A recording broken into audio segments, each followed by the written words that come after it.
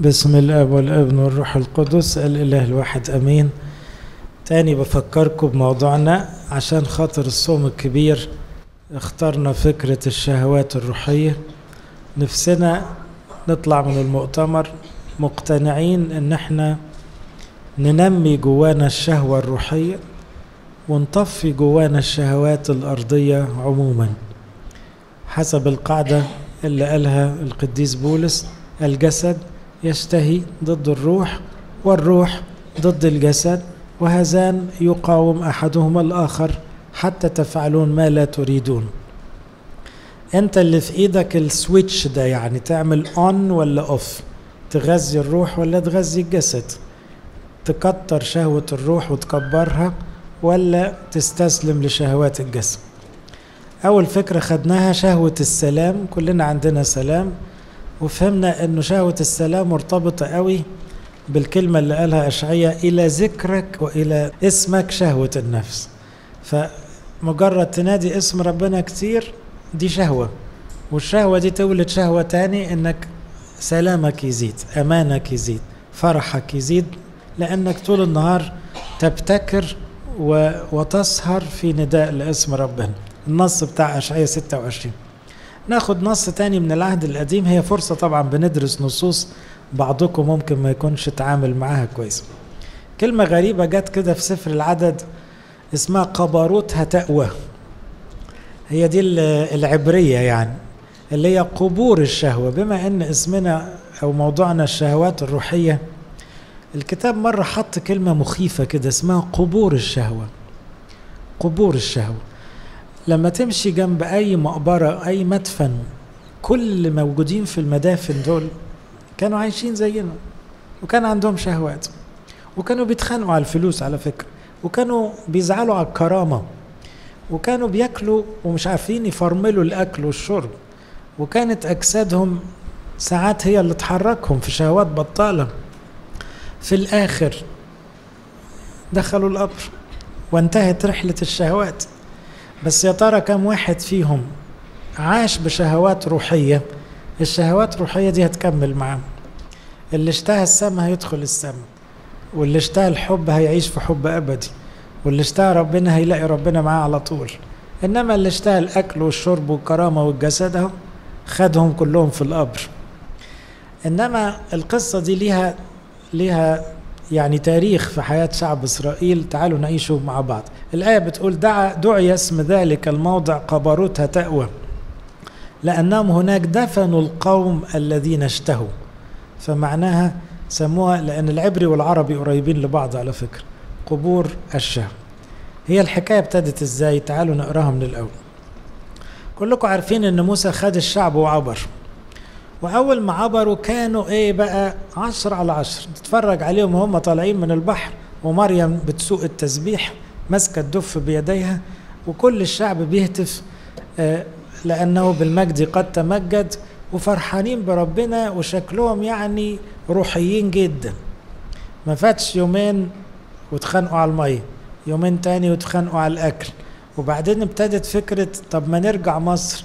ده إحنا كنا بناكل الشحاتين دول مؤاخذة. كنا بناكل قال إيه توم وبصل وكرات يعني يا ريتهم حتى بيتوحموا على حاجة عليها القيمة يعني. إنما هنشوف دلوقتي يحصل إيه. القصة دي اتكررت في الأربعين سنة أكتر من أربعين مرة. يعني إحنا الكتاب ما ذكرش كل الاعتراضات أو التذمرات اللي اعترضها شعب إسرائيل. بس ده سيناريو مكرر إنه السأم أو الملل أو الضجر من الحياة الروحية واللجوء للحياة الجسدية. خلي بالكم الكلام بقى يخصنا هنا. يخصنا ليه؟ لأنك هتيجي في نص الصوم وتقول إيه؟ أنا زهقت بقى كل يومين قداس ومزامير ومطنيات لما ظهرنا اتقطم وبتاع. ما ناكل لحم زي البشر كده. هتبص تلاقي دماغك تزن عليك في حتة غلط كده. فعدد 11 تبتدي القصة الأول زي إنذار بداية القصة. كان الشعب كأنهم يشتكون شرا في أذني الرب. فسمع الرب فحمى غضبه. يعني ابتدوا يشكوا ويتذمروا في الفاضية والمليان. فاشتعلت فيهم نار الرب وأحرقت في طرف المحل. ربنا لما يبتدي يغضب يدي فرصة للتراجع. فالنار شبكت في أول المحلة. المحلة دي يعني إيه؟ يعني المعسكر. والمعسكر ده كان شكله إيه؟ أنا شرحته لكم مرة زمان. ثلاث أسباط كده وثلاث أسباط كده وثلاثة أسباط كده وثلاثة أسباط كده عاملين صليب. بس صليب على م... على أرض كذا كيلو. لأن دول 600 ألف عيلة. 2 مليون نسمة على الأقل. متخيلين؟ فده شعب ضخم جدا. وفي النص في, في قلب الصليب خيمة الاجتماع. فلما تشبك النار في طرف المحلة يعني من ناحية من نواحي النار ابتدت تسرح. فصرخ الشعب إلى موسى وده كان بيتكرر كتير الموقف ده. فصلى موسى إلى الرب فخمدت النار. بس النار كانت إنذار إن الاعتراض الكتير والضجر من الحياة مع الله ما الحياة في سينا دي إشارة للحياة الروحية كلها. عشان كده نقرأ في الصيام الكبير سفر الخروج كتير ساعات نقرأ من العدد وكده. فدعي اسم ذلك الموضع تبعيرة. تبعيرة يعني حاجة زي شعلة نار كده. لأن نار الرب اشتعلت فيهم وفي اللفيف واللفيف الذي في وسطهم اشتهى شهوة. خلي بالكم إيه اللفيف ده؟ ها اللفيف دول الجماعة اللي خرجوا من مصر اتلزقوا في العبرانيين بس هم كان عندهم شوية إيمان قالوا ظهر إله العبرانيين معاه حق وهم زهقانين من العيشة مع موسى مع فرعون أقصد. فطلعوا لكن هم في الأصل مش عبرانيين. فما دقوش الذل اللي دقوه العبرانيين. فدول إيه؟ الإضافة اللي انضافت على شعب إسرائيل. دول لأن كانوا كمصريين ممكن يعيشوا مرفهين في مصر. دول كانوا أكتر ناس الشهوة تنقح عليهم. ليه؟ لأنه مرفه في أصله. هو ما تمررش مرار العبرانيين في مصر فاهمنا؟ وعشان كده تلاحظوا إن إحنا اللي منا طالع في بيت مرتاح شوية الصيام تقيل قوي على قلبه والتغصب كمبدأ تقيل على قلبه. بس روح لواحد غلبان عيشته يا عيني غلب كان في العافية بيلاقي لقمة هو صايم طول حياته. فيعني أنت بتقول له إيه يعني مش فارقة كتير يعني ما هو خد على الجوع. وخد على الذل. فساعات ده بيكون أقوى شوية. عشان كده المسيح قال ما أعصر دخول الأغنياء ملكوت الله. فبيقول اللفيف ده اشتهى شهوة. فعاد بنو إسرائيل أيضا وبكوا. بصوا بعد النار مش يختشوا يقولوا لا يا رب كتر ألف خيرك. ده المن ده حلو قوي. كويس قوي على المن. إحنا مش عاوزين النار. كويس. حد طايل يمشي في الصحراء ياكل من. ده المن ده قطايف بالعسل يعني. حاجة مش مش وحشة يعني. وكانوا يطبخوها كذا نوع هنشوف دلوقتي عشان ينوعوا برضه إنما حتى بعد النار عاد بنو إسرائيل بكوا تصوروا واحد بيبكي من شهوة جسده. دي حاجة تخوف يا جماعة إن شهوة الكرامة تجعل الإنسان يبكي لأن كرامته مجروحة أو يبكي لأنه مشتاق للزنا أو للشهوة الجسدية أو يبكي لأنه مشتاق للأكل. يا أخي وفر دموعك وابكي اشتهي السماء اشتهي النقاوة ولا التوبة اشتهي الإنجيل. لكن الدموع لما تروح في حاجة زي كده ده معناها وحش قوي. يعني بكوا يعني لو الواحد ما يعرفش الآية كنت أقول لكم كملوا الآية. كنت هتقولي بكوا تائبين مثلا بكوا خجلانين من نفسهم. لا دي خيبة تقيلة. بكوا وقالوا من يطعمنا لحما. هنا أول فكرة عاوز أقولها أن الشهوات معدية. عارفين ال pandemic لما يحصل مرض وباء عالمي؟ الشهوات كده. مش endemic دي pandemic يعني عالمية العدوى. تمسك في العالم الدولار ده عامل عدوى عالمية. الناس كلها بتعبد الدولار. الجسديات الإعلانات كلها أجساد يعني للبيع حاجة تخوف. وتلاقي الإعلانات نفسها في كل بلد في العالم وكل الناس مبهورة بده. عدوى. الشيطان يرميها في بلد وتجري زي النار تمسك في العالم كله العالم كله يجري في الأوهام دي. ربنا بيأدب اللي يعيش في شهوة ما بيعاقبش فجأة. يعني إيه؟ مثلا الإيدز لما طلع أنا أحكي لكم موقف شخصي حصل معايا. سنة 81 أنا كنت بتمرن في أمريكا كطالب طب. وكان صديق والدي رئيس قسم أورام هناك فقال لي الحالة دي اسمها كابوسي ساركوما ويظن إن ليها علاقة بفيروس ما كانش لسه الإيدز اكتشف. كان في السنة دي أعلن اكتشاف الإيدز في 81 أنا فاكرها كويس لأني كنت يعني كان كلام جديد عليا. فالراجل بيقول لي بص غالبا الراجل ده وهو بيكشف عليه بس بيقول لي يعني بيني وبينه غالبا عنده homosexuality لأنه عندنا الدراسات بتقول إن الساركوما دي النوع ده مرتبط بمرض جنسي بفيروس لم يكتشف وينتشر أكثر في ال homosexuals. بصوا المعلومة بس محطوطة.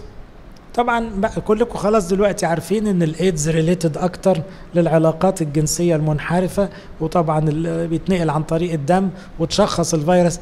بس عاوز أقول كان لسه اكتشفوا حاجة جديدة. ربنا عامل إنذار. إنذار يا جماعة الخروج عن الطبيعة في نار. طبعا عذاب الايدز اللي شاف منكم مريض ايدز بقى في مراحله الأخيرة عذاب. طب ما هو ده إنذار. هل أنت بتستقبل الإنذارات عموما؟ ساعات يجي لك حتى وجع بطن لأنك نسيت نفسك وكلت زيادة. طب مش تاخد بالك بعد كده؟ ما هي ده إنذار على بسيط كده يعني. إن السكة دي مش أحسن حاجة. أو عشانك شوية كرامة تدب خناقه مع شخص غالي عليك وتتنكد فيها شهر. مش ده لوحده إنذار؟ كان لازم تنتبه إن شهوة الكرامة أو شهوة الأكل الحاجات دي خطر. ما تمشيش وراها تاني. وبعدين نكمل النص. واللفيف الذي في وسطهم اشتهى شهوة. فعاد بنو إسرائيل وبكوا وقالوا من يطعمنا لحما؟ قد تذكرنا السمك الذي كنا نأكله. هم طبعا ما كانوش بياكلوا سمك على فكرة كانوا بيشموه بس. في مصر مجانا والقثاء والبطيخ والكرات والبصل والثوم. حاجات غريبة جدا. والآن قد يبست أنفسنا. بصوا يا جماعة الكلام ده هينطبق علينا دلوقتي. ليس شيء غير أن أعيننا إلى هذا المن الزهق. وأما المن فكان كبذر الكزبرة ومنظره كمنظر المقل وكان الشعب يطوفون يلتقطوه ويطحنوه بالراحة ويدقونه في الهاون ويطبخونه في القدور ويعملونه ملات وكان طعمه كطعم قطايف بالزيت. ومتى نزل الندى على المحل ليلا كان ينزل المن معه. هنا مقصود بيها جماعة إيه؟ الملل من الأمور الروحية. إحنا كمبتدئين كلنا مبتدئين روحيا. ما إحناش قديسين كبار لأن القديسين كبار عمرهم ما يزهقوا من المن. واحد زي موسى ولا يعني عايش مع ربنا. فالمن ده بالنسبة له حاجة جميلة قوي إنما إحنا في الدرجة بتاعت الناس دي إحنا لما نصلي ساعتين زيادة يعني مش هنفتح التلفزيون بقى. كده يعني. مش هنجيب سيرة الناس بقى يعني هنقعد كده وخلاص فاضيين يعني؟ مش معقول. وتلاقي برضو إيه حتى في الأكل الصيامي لازم نحبشه كده بشوية مخلل وترشي ويعني ويبقى أكثر شهوة من أي أكل تاني يعني. واضح إن إحنا بنمل من الإنجيل من القداس من الصلاة من التسبحه من الخلوة. ده مش لأننا لأنه مش مفيد. المن مفيد جدا. المن طعام طبخينه الملائكة. المن خلاهم بصحة جيدة أربعين سنة في البرية. لأنه أكل سماوي فيه معجزة طبعا لأنه هو الموضوع مش calories يعني ومش حاجة medical لكن بيزهقوا. فلما تلاقي نفسك زهقان خوف نفسك. أنا إمتى يا رب هكبر وأبقى بشتهي الطعام الروحي وما ما زهقش منه؟ إزاي يبقى زي الأنبا بولا ده اللي يقعد 90 70 80 سنة ما بيشوفش إنسان ومش زهقان. صاحي نايم على بلحتين ثلاثة في اليوم وقاعد معاك. ما وراهوش غيرك. حتى ما عندوش كتب روحية ما عندوش سيديهات يسمعها. ما عندوش حتى ناس يسبحوا معاه. ومع كده مبسوط. هم دول بقى الناس الكبار بتوعنا. إحنا بنزهق. والزهق إشارة إن إحنا أجسادنا تقيلة علينا. لسه شهواتنا غلبانة. لسه صوت الكرامة والجسد والحاجات دي عالي فبنزهق. بس إياك توصل بزهقك أوكي الزهق مع المبتدئين زينا مقبول. يعني إيه؟ عشان كده كنيستنا إيه؟ تقعد. كأم كده تحايلنا. طب بس إيه؟ صلي مزمورين ثلاثة زيادة. طب معلش ريح شوية. يعني إيه؟ محدش فينا بيمشي بالعصاية. لكن توصل إنك تبكي في شهوة جسدية لا خطر. بقيت بقى بتسرق الشهوة كأنها حاجة غالية عليك. لا أنت بتذل روحك ليه؟ عشان شوية كرات يعني وبصل يوجع البطن. يبست أنفسنا تعبير وحش قوي. يبست أنفسنا في الوقت اللي هم كانوا هيدبحوا في مصر كلهم كانوا هيهلكوا لو فضلوا ياكلوا الأكل ده. نكمل الكلام. فلما سمع موسى الشعب يبكون بعشائرهم كل واحد في باب خيمته. بصوا بقى بقت مناحة عامة. يعني في شوية ناس عيطوا فالناس كلها بقت تعيط. تسأل واحد بتعيط ليه؟ عاوز أكل لحم. خلاص سيطرت الموضوع عليه. كبرت في دماغه ادوني لحمة. وحمى غضب الرب جدا.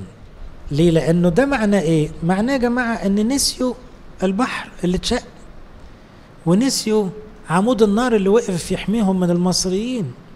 ونسيوا الذل اللي 400 سنة اللي شافوه في مصر. ده كانوا بيموتوا يوميا بالمئات من السخره من الذل. ونسيوا إن عيالهم الأولاد كانوا بيموتوا. كان ممنوع عيل ولد ذكر يعيش. كل ده اتنسى عاوزين ناكل لحمة. فحاجة فطبعا ربنا صعب عليه. يعني أنا فديتكم وأنقذتكم بيد قوية وذراع رفيعة وريتكم النور والنهر وشفت عملت إيه في الفراعنة. ونزلت لكم مية من صخرة. وبعدين عشان شوية لحمة نخرب الدنيا.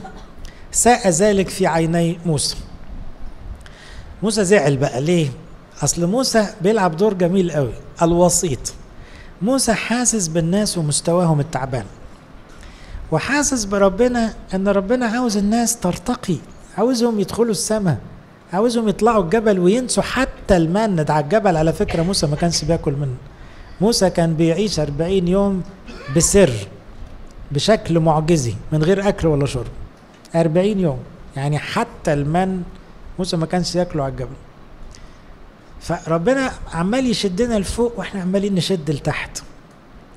فزعل ربنا غضب فموسى بقى احتاس. فقال موسى للرب أنت بصراحة تعبتني معك لماذا أسأت إلى عبدك؟ لماذا لم أجد نعمة في عينك حتى أنك وضعت ثقة لجميع هذا الشعب علي بصوا طريقة الصلاة اللي زي كده ما تتعلموهاش لو سمحت. لما تبقوا قد موسى قولوا كلام زي موسى. لكن إيه؟ لحسن كل واحد يغلط في ربنا براحته يقول لك ما موسى عمل. لا اعماله معروف. موسى صار صديقا لله. فبيعرف يكلم ربنا بمستوى صداقة معينة يقدر يعاتبه يعني. فقال له مش كنت خدتني قبل كده؟ أنا تعبت أنا مش قد المسؤولية دي. لعلي حبلت بجميع هذا الشعب أو لعلي ولدت حتى تقول لي احمله في حضنك. كما يحمل المربي الرضيع إلى الأرض التي حلفت لآبائه من أين لي لحم حتى أعطي جميع هذا الشعب؟ لأنهم يبكون علي قائلين أعطينا لحما لنأكل. لا أقدر أنا وحدي أن أحمل جميع هذا الشعب لأنه ثقيل علي. على فكرة هنا لو تفتكروا العجل الذهبي قبلها بسنة تقريبا الموقف كان معكوس. ربنا هو اللي كان بيقول لموسى سيبني على الشعب ده أفنيه. يا موسى واعمل منك شعب. وموسى يقول له لا لا يمكن. ولو هتفنيهم افنيني معاهم. ويقولوا عليك إيه طلعتهم البرية وموتهم. هنا الموقف بالعكس. موسى اللي زهق وربنا اللي بيحايل. فاهمين الفكرة؟ يعني المرة الأولانية ربنا اللي كان زعلان قوي وموسى اللي بيحايل. دلوقتي العكس. إن كنت تفعل بي هكذا فاقتلني قتلا. إن وجدت نعمة في عينيك فلا ارى بليتي يعني أنا خلاص تعبت من الناس دول ومش قادر أعمل اللي أنت عاوزه. أنت يا رب عاوزهم في مستوى هم غير كده خالص. حمى غضب الرب. الوسيط المسكين. كل خادم فيكم يا ريت نبقى ناس روحيين زي موسى كده. موسى ما قالوش معاهم حق. بس عاوز يقول له يا رب طب ما هم غلابة برضه. يعني جزدانيين لسه مش عارف أعمل فيهم إيه طيب. وأنت حملتني مسؤولية أكبر مني أنا مش قد المسؤولية دي. بس ربنا قدام الوساطة لأنها دايما بتحط قدام ربنا يسوع. ربنا يسوع هو الوسيط الحقيقي الأساسي. موسى ده البروفا بتاعته الكومبارس يعني. وكل واحد فينا وسيط من وساطة المسيح. الكاهن بيعمل نفسه دور موسى لكن الوسيط الحقيقي الشفيع الأعظم ربنا يسوع اللي عمل الفداء. لكن إحنا بنقف في موقف بين ولادنا وبين طلبات ربنا.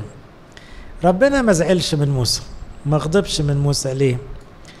على قد ما موسى كان يائس في اللحظة دي إنما موسى كان عنده إحساس جميل بالمسؤولية. كان بيحب الناس بجد وكان خايف عليهم وكان حاسس إنه لازم يشيلهم زي الرضيع. خدتوا بالكم التعبير المربي والرضيع؟ قال له طب أعمل إيه؟ دول زي العيال الصغيرة. فقدام الكلمات الحلوة دي ربنا ما زعلش بالعكس تجاوب مع موسى. لكن هي الشهوة كانت غالبة الناس بطريقة صعبة قوي تعالوا نكمل الموقف. فقال الرب لموسى هنا بقى ربنا عمل حاجتين مختلفتين مش حاجة واحدة.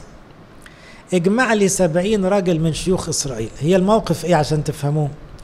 ربنا قصاده مشكلتين مش مشكلة واحدة. مشكلة موسى اللي بيقول تعبت ما ده لوحده بقى مشكلة. ومشكلة الشعب اللي بيقول إيه؟ عاوزين لحمة. فبقت مشكلتين. ربنا رايق جدا. حتى لو المشاكل زادت يحلها لك في قعدة كلها. قال له نبتدي بيك. على فكرة ربنا الخادم عنده أهم من الخدمة. لما تكون تعبان قوي المشكلة شخصية يتعامل معاك أنت قبل الخدمة. قال له ابتدي بيك مش أنت بتقول أنا الحمل تقيل عليا هفكك بسبعين واحد. إيه رأيك؟ عشان سبعين يشيلوا معاك. طبعا الكلام ريح موسى قوي بس لسه مشكلة اللحم. قال الرب لموسى اجمع لي سبعين راجل من شيوخ إسرائيل الذين تعلم أنهم شيوخ الشعب وعرفاء واقبل بهم إلى خيمة الاجتماع فيقفوا هناك معك. فأنزل أنا وأتكلم معاك هناك واخد من الروح اللي عليك وضع عليهم. فيحملون معك التعبير اللي استخدمه موسى. حمل علي. قال له طب يشيلوا معك. ثقة للشعب فلا تحمل أنت وحدك. وللشعب تقول تقدسوا للغد فتأكلوا لحما لأنكم قد بكيتم في أذني الرب قائلين من يطعمنا لحما؟ أنه كان لنا خير في مصر. ربنا بيقولها وهو زعلان. بقى كان ليكوا خير في مصر وأنا اللي مبهدلكوا في البرية. يعني اتعكست الآية. يعطيكم الرب لحما فتأكلون تأكلون لا يوم واحد ولا يومين ولا خمس أيام ولا عشرة ولا عشرين. هم طبعا كانوا طمعانين إيه؟ طقة لحمة مرة. يعني يلحسوها حتى كده. قال لهم لا ده أنا مش هأكلكم يوم ولا اتنين ولا خمسة ولا عشرة أنا هأكلكم شهر. لحمة صبح ظهر ليل حتى يخرج من مناخركم واضح إن ربنا زعلان يعني. ويصير لكم كراهة. هي فعلا الشهوة تقلب. دايما الشهوات تقلب.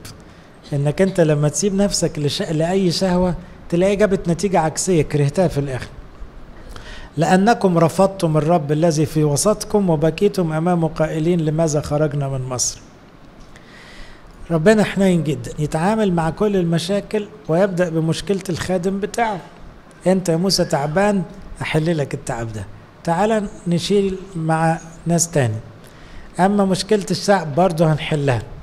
طب ربنا بيبتدي بإيه؟ الجميل في ربنا إنه دايما يبدأ بالأقرب ليه. يعني إيه؟ مش أنت الراجل بتاعه مش أنت بتخدمه. يا حبيبي بيتك وحالك وأنت قبل الخدمة قبل المشاكل اللي بره. وكمان لأن موسى واضح إنه وقع نفسيا فلازم المسيح يرفعه الأول عشان يقدر يتعامل ويكمل المشوار. فلو دخلنا على اللحمة على طول وموسى واقع كده مش هينفع. نكمل الحكاية. فقال موسى المهم مش موسى يسكت بقى. يعني بصراحة موسى ملوش حق هنا المفروض يختشي يقول له كتر ألف خيرك حلت لي المشكلتين في قعدة. هتجيب لي سبعين ريس معايا وهتجيب اللحمة. إنما موسى بيكلمه كده كأنه بي يعني بيسخر من ربنا. 600 ألف ماشي الشعب اللي أنا في وسطه. وأنت بتقول هجيب لهم لحمة؟ أيذبح لهم غنم وبقر ليكفيهم؟ هتعمل لهم سفرة إزاي دول يعني؟ 600 ألف واحد. هتجيب لهم غنم وبقر منين يذبحوهم؟ أم يجمع لهم كل ثمر الب... سمك البحر ليكفيهم؟ خلي بالكم. لسه موسى هايج وطريقته مش حلوة وبيغلط في ربنا ومكمل المقاوحة ومع كده ربنا مطول باله خالص ومستحمل الغلط بتاع موسى. فقال الرب لموسى هل تقصر يد الرب؟ الآن ترى. أيوافيك كلامي أم لا؟ فخرج موسى وكلم الشعب بكلام الرب. موسى طلع بس موسى في حتة جميلة قوي إنه بيطلع يقول زي ما ربنا قال بالظبط. فطبيعي الشعب كله يبص له من فوق لحد تحت كده. أنت عبيط مثلا ولا إيه يعني؟ هيجي لنا لحمة إزاي يعني؟ يطلع يقول لهم زي ما هي. ربنا قال هناكل لحمة 30 يوم لغاية ما تطلع من مناخيرنا. فطبعا ما حدش ما بس هو موسى ما عندوش مشكلة إنه يقول اللي ربنا قاله.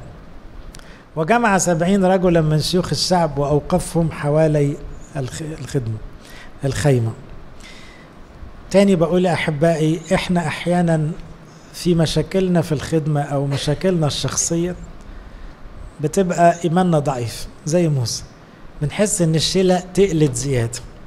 بيبقى لسان حالنا بيغلط في ربنا بس ربنا عامل خاطر إن إحنا برضو إيه رجالته وولاده وبنخدمه فيستحمل بواختنا شوية.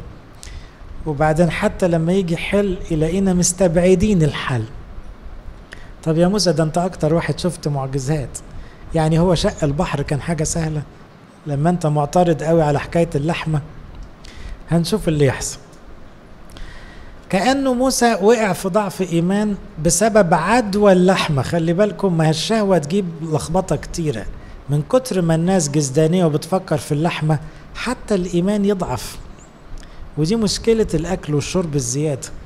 لما بناكل كتير ونفكر في الدنيا كتير الإيمان بينزل لتحت. الثقة في ربنا بتضعف خالص. ربنا بقى يحاول يرفع الإيمان تاني فقال له الآن ترى هوري لك. أنا أفرجك يا موسى.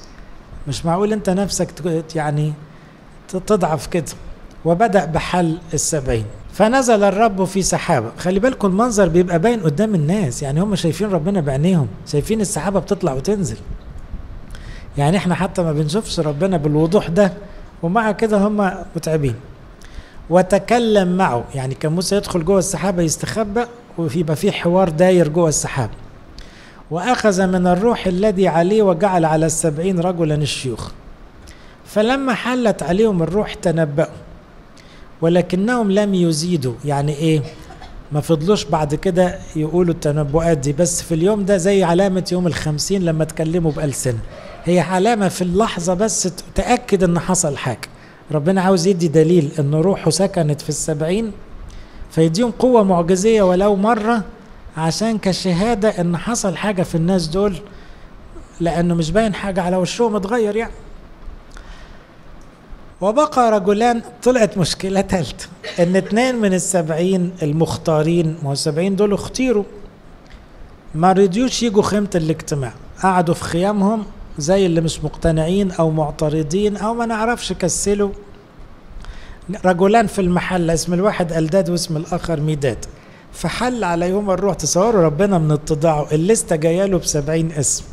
فالروح القدس لازم ينزل على السبعين. فالروح القدس سكن في السبعين حتى لو في اتنين في مشوار.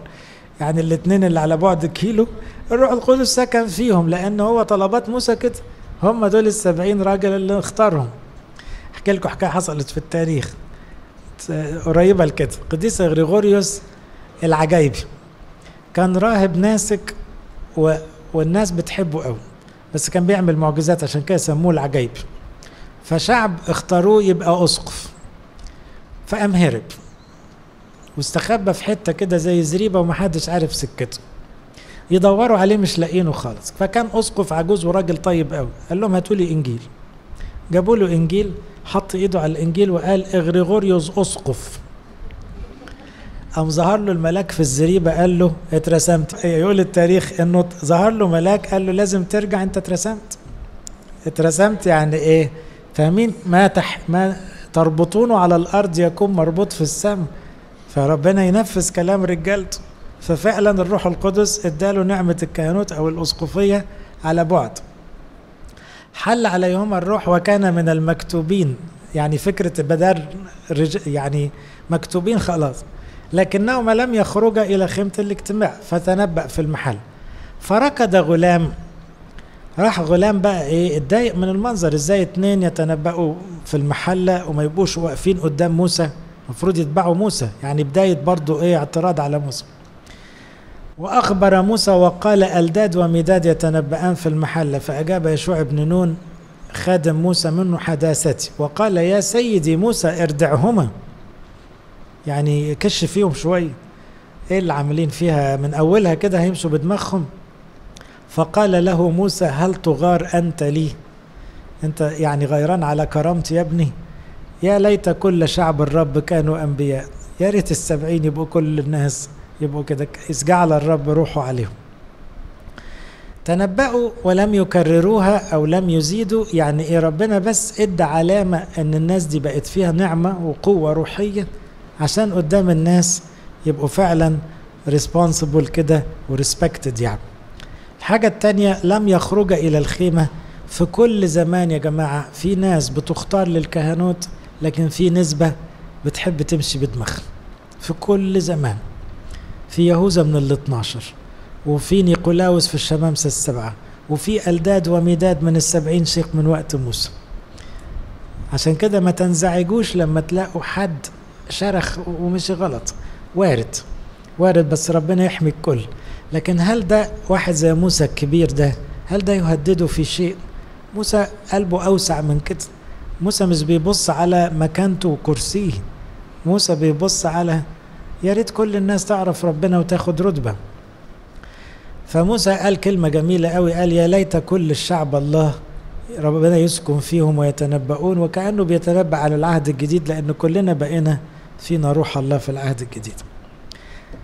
أفكركم بالسبعين دول. السبعين دول غالبا جه ذكرهم في سفر الخروج بدري شوية. عشان كده كان سهل تسجيلهم. حصل موقف غريب قوي في آخر سفر الخروج.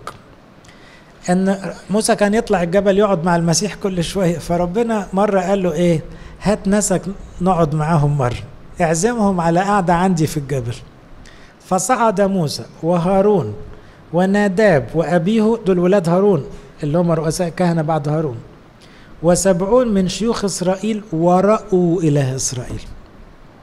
يبقى أتاري السبعين دول غالبا هم اللي شافوا المسيح قبل كده في مجده في عزومة عملها موسى. لناس مختارين منهم.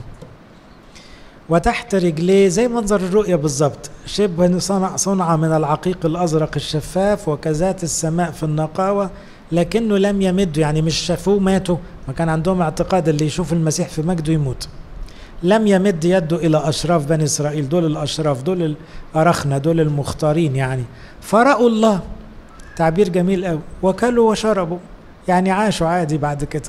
شافوا ربنا لكن كملوا. فلما جاء حادثة العدد اختير السبعين. آخر جزء بجد. ثم انحاز موسى إلى المحل. لغاية دلوقتي خلصنا المشكلة الأولانية بقى معانا سبعين شيخ بيردوا على الأسئلة وبيحايلوا الناس وبيشيلوا الهم مع موسى. لكن المشكلة التانية بتاعت اللحمة. انحاز موسى إلى المحل هو وشيوخ إسرائيل يعني رجع كل واحد خيمته لسه بقى مستنين ربنا العزومة هيعملها إزاي. فخرجت ريح من قبل الرب وساقت سلوى من البحر. السلوى دي زي الايه اللي بيسموه إيه؟ السمان. آه يقال زي آه طير السمان ده بيبقى ماشي في أسراب بالملايين بالمئات الآلاف. فوقعت كل السلوى دي زي الحمام كده حوالين المحلة داير داير كده على بعد كذا كيلو. وبقوا طبقات فوق بعض. فبقى كمية لحمة متخزنة يعني تكفي الشهر. نحو مسيرة يوم من هنا ومسيرة يوم من هناك حوالي المحلة ونحو ذراعين فوق وجه الأرض. يعني أكوام أكوام كده. فقام الشعب كل ذلك النهار وكل الليل ما هم جعانين. وكل يوم الغد وجمعوا السلوى الذي قلل يعني أقل واحد جمع عشرة حوامر. دي يعني موازين يعني حاجة يعني جرادل يعني. وسطحوها مساطح عشان ما تبصش يعني في الشمس إيه تستوي أو ما حوالي المحل وإذ كان اللحم بعد بين أسنانهم قبل أن ينقطع يعني قبل ما يخلص الثلاثين يوم حمى غضب الرب على الشعب. طب أنا برضو عندي سؤال. مش يا رب أنت وافقت وجبت اللحمة وقلت هتطلع من مناخيرهم؟ طيب زعلت ليه تاني بقى؟ هنشوف. وضرب الرب الشعب ضربة عظيمة جدا فدعي اسم ذلك الموضع قبروت هتأوى لأنهم هناك دفنوا القوم الذين اشتهوا ومن قبروت هتاء وارتحل الشعب إلى حضيروت فكانوا في حضيروت. ما فيش تفسير مسجل في سفر العدد ليه ربنا غضب. بس هقول اجتهادات. أول اجتهاد لأن هم ما شكروش. يعني كان أقلها بعد ما أكلت لحمة أول يوم وفي الصحراء وبمعجزة واضحة وما كنتش تطولها حتى في مصر. كانت الناس يا إما تعتذر سوري يا رب إن إحنا غلطنا فيك وبكينا وعملنا قصة وإنت معيشنا بمعجزة أساسا. لو كان في توبة أو شكر ما كانتش قلبت غم. خلي بالكم من المعنيين دول. لأن ربنا ساعات بسبب ضعفنا يشبع احتياجاتنا الجسدية. يعني يجيب لك حد يشجعك عشان انت ناقصك كرامة شوية. معلش كمبتدئ. تاكل أكلة حلوة في الصيام ماشي نعديها. بس قول أشكرك يا رب. قول sorry يا رب مش عارف أصوم زي البهوات المحترمين اللي بيصوموا كويس. فيا إما تقول sorry يا إما تقول شكرا. لكن لا أخطيت ولا متشكرين. تبقى أنت يعني؟ لا مؤاخذة يعني. يعني مش معقول. اللحمة تطلع من مناخيرك ومكمل يعني. هل لأنهم لم يشكروا؟ ولا لأنه ده اعتقاد تاني قالوا الآباء بقى. لأنه غالبا لما كلوا زيادة وقعوا في الزنا. ما هم دي مش أول مرة بقى. فاكرين من وقت العجل الذهبي أول ما يمشوا غلط تلاقيهم على طول قلبوا على زنا. فالشهوة تجيب شهوة يا جماعة. الشهوات الأرضية عموما مع بعض. شهوة الفلوس وشهوة الكرامة وشهوة الجسد لازم تنتهي بمصيبتين كبار. الوثنية والزنا أو الوثنية والإباحية. تاني الفلوس الكتير أو شهوة الفلوس. على شهوة الكرامة على شهوة الأكل والشرب الزيادة دول يصبوا في مصيبتين كبار قوي عبادة أوثان وإباحية. وعشان كده العالم عمال ينتشر فيه الوثنية أو الإلحاد ما هو ده نتيجة إيه؟ الناس كلها مستسلمة للكرامة والفلوس والجسديات. فخلاص مفيش ربنا. وتلاقي بقى أنواع من البلاوي الجسدية يعني حتى الزنا العادي مش مكتفين بيه يعني. فيبقى الشهوة دفعتهم لمزيد من الخطية. فحمى غضب الرب لأنه لما تجاوب مع رغبتهم ما استفادوش بالعكس ساءوا فيها وازدادوا خطية فوق خطية. يعني ربنا ما كانش متكلف إنه يجيب لهم اللحمة. ارضاء لموسى صعبان عليه منهم بس اداهم. لكن عشان يزدادوا بقى في خطايا أوحش يبقى لازم ياخدوا غضب ربنا. يبقى قلة توبة أو قلة شكر أو زيادة فساد أو ده يفسر لنا ليه غضب ربنا. من هنا اتسمت المنطقة دي في مات ناس ماتت بقى. برضو يقال إنه وباء حصل مرض وابتدت الناس تموت. آه ودفنوهم في المنطقة دي دفنوا عشرات الآلاف. فالمنطقة دي اسمها قبور الشهوة. الاسم مفزع بس الاسم الحقيقة انذار لينا كلنا. انت ليه يكون مصيرك بعد ألف شر قبور الشهوة؟ ليه ما تكونش واحد من السبعين اللي ربنا بيشتغل بيهم تنبه الناس؟ يا ناس لو ربنا اداكوا لقمة قولوا أشكرك يا رب. ولو نسيتوا نفسكوا زيادة في شهوات أرضية طب ارجعوا قولوا سامحنا يا رب. لكن ما تحطوش همكم في اللحمة زيادة ما تخلوهاش تخرج من أنوفكم. يعني إيه؟ ما تعيشوش عيشة حيوانات. وربنا عاوزنا نعيش عيشة ملايكة. لأن في المزمور يسمي المن أكل الملايكة يسميه كده خبز الملايكة. فربنا عاوزنا ملايكة وإحنا عاوزين حيوانات. شهوة الجسد لتحت وشهوة الروح لفوق.